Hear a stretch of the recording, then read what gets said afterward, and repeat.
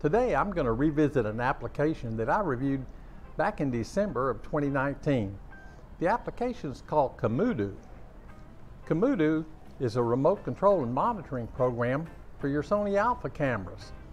Uh, it's really a great little app. It was great in 2019, but now it's even more useful. So we're going to talk about some of the features of Camoodoo, and I'm going to show you um, some of the screenshots and things that I didn't show you last time.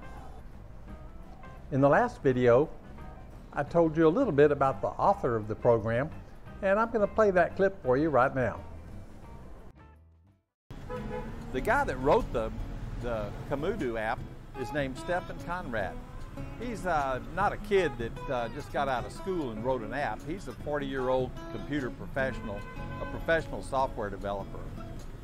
His hobby's photography, so he was really interested in producing an application that was better uh, than the one that the Sony imaging app uh, provides.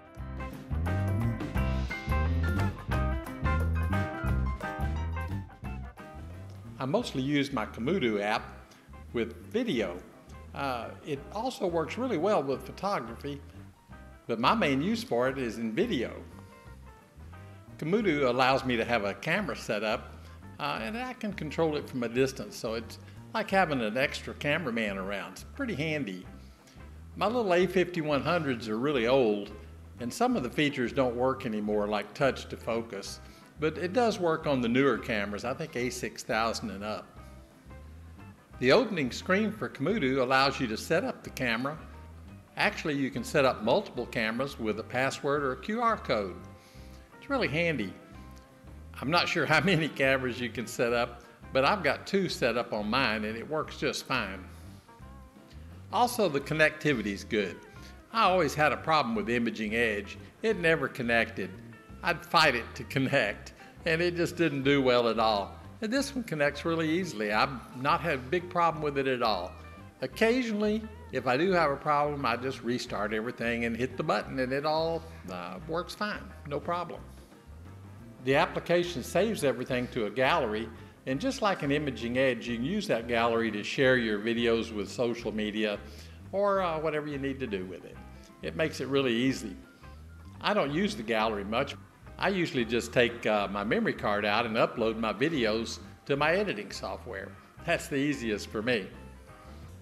In Camoodoo, you have a lot of settings that you can uh, use with your camera. You can tell it where uh, in your file system that you want to store your previews, uh, it'll store up to the number of previews that you put in there, and then after that, it starts deleting them in a, in a rolling fashion so uh, you don't fill up your camera with previews.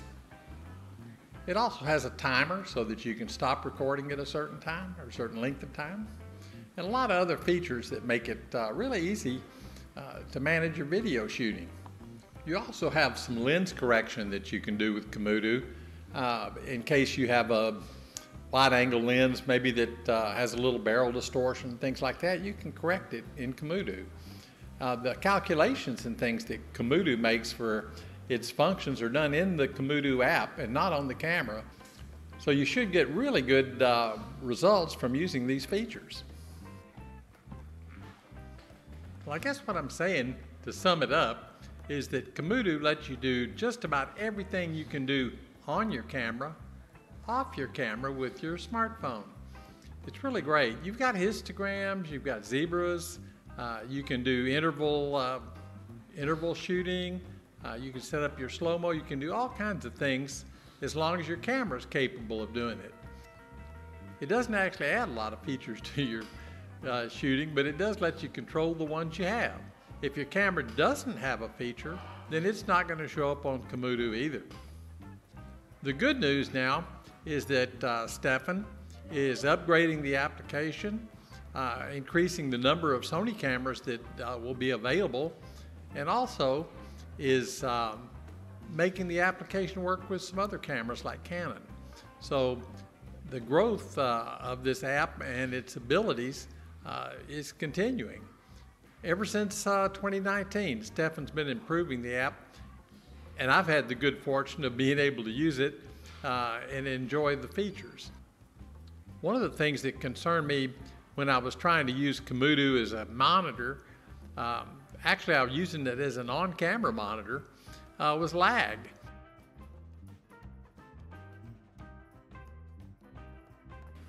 But I've seen some of the uh, inexpensive on-camera monitors that have more lag than Camoodoo. So it really works good for that too. I think you'll find it uh, very useful as an on-camera monitor or as a remote monitor and remote control. And while you're shooting, you have your histograms and zebras and everything. So it's really good for that. Well, I certainly hope you'll download and try Camoodoo if you have a Sony Alpha camera. It's really a great little app, and uh, even the free version offers a lot of features. The Pro version, of course, offers quite a bit more. I uh, hope you'll look at it too. It's not an expensive program, it's always updated, so I think you'll enjoy uh, using it, and I think it'll add a lot to your photographic experience. This is JR, the Texpat in Saigon, saying thank y'all for watching.